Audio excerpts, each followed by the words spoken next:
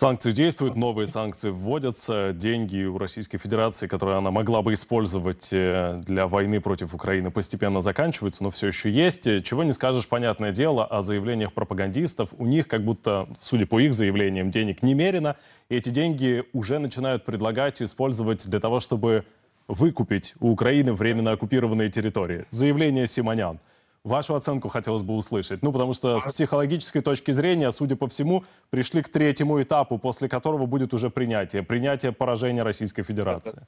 Пять, пять стадий. Просто не все знают, знаете. А смотрите, какая штука. Она же ведь не просто сказала о выкупе. Она сказала, вот наши денежки, которые там лежат, вот те же резервы ЦБ и так далее, вот вы их забираете, а мы забираем те территории, ну, как минимум, которые уже захватили. Но она выразилась по-другому, там имелось в виду вот какие-то вот территории, она предполагала, которые еще намечается наверное, захватить. Ну, а зачем это э, чего-то выкупать? Ну, во-первых, рационально подойдем. Эти деньги уже не ваши.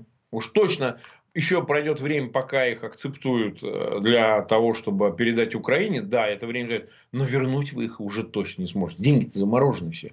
И даже те 300-350 миллиардов долларов, которые резервы ЦБ вложены в американские ценные бумаги, они все равно заморожены ничего ты, никакая Симонян, ни ее мудак-муж, ничего вы больше на эти деньги не выкупите. Поэтому можете, так сказать, э, стонать, кричать, плакать, выражать версии, что как бы хорошо бы было бы, этого ничего не будет. Это во-первых. Во-вторых, ну, видите как, ну, торгашка с рынка она. Ну, вот она торгашка, вот видите все, а купи-продай. То есть, она считает, что она сама торгашка, чурчхелы, понимаете, и вдруг э, все такие же в Украине готовы продать территории, а не поливать их кровью, как это делают вооруженные силы Украины и украинские граждане.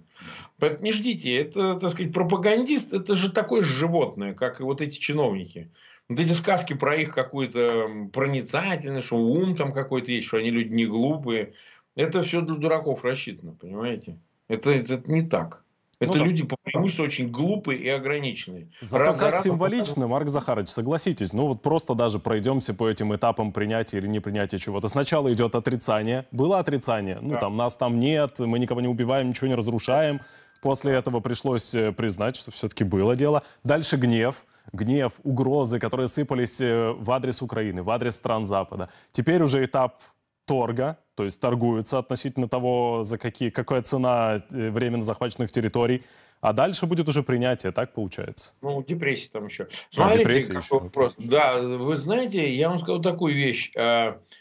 А, у них все пять стадий одновременно происходят. Вот такая операция в сознании, такое, знаете, они, ну, это, конечно, началось после фактического поражения в Украине, потому что, как минимум, это не успех, когда ты уже год и один месяц воюешь, это явно не то, на что они рассчитывали, Киев за три дня. Ну, логично, да? Когда они говорят, да мы не проиграли. А что же вы не проиграли? Вы не выиграли. В этом как раз самая большая ваша печаль-то. Потому что вы не смогли сделать то, на что вознамеривались.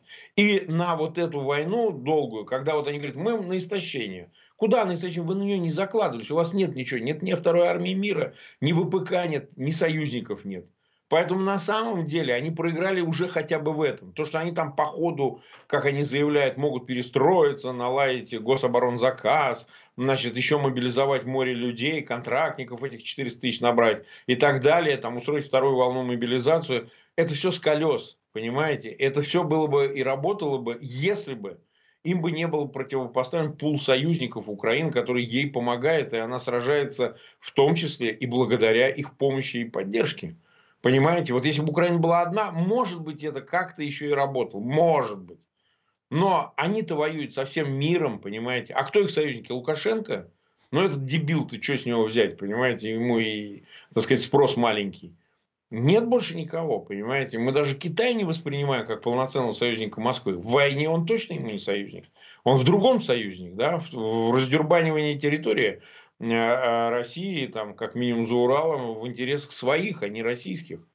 И поэтому, как бы, извините, это точно выглядит как поражение, а не как не победа.